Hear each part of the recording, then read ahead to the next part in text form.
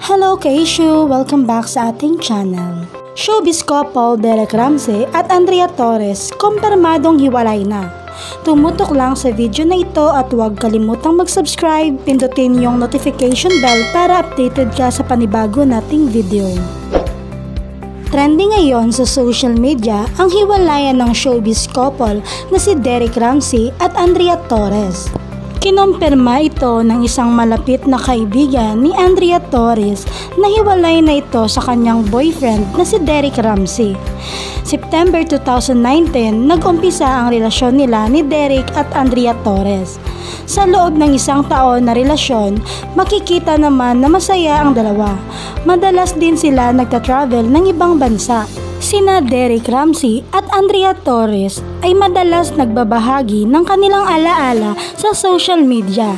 Subalit, nagulanta ang lahat ng in-unfollow ng kapuso aktres na si Andrea ang boyfriend nito na si Derek Ramsey sa Instagram account at tinanggal na ang lahat ng mga larawan na magkasama sila. At ganun din sa Instagram ni Derek Ramsey. Wala na ang sweet photos nilang dalawa. Ayon nga sa source, nagkaroon sila ng matinding away ang dalawa isang linggo na ang nakalipas at hindi pa naayos hanggang ngayon. Samantalang maraming netizen ang naniniwala na third party umano ang dahilan sa paghiwalayan nila Derek Ramsey at Andrea Torres. At dahil dito, maraming fans ang naaawa sa kapuso actress na si Andrea Torres, tila pinaglalaroan lang umano at ginamit lang ni Derek Ramsey si Andrea Torres.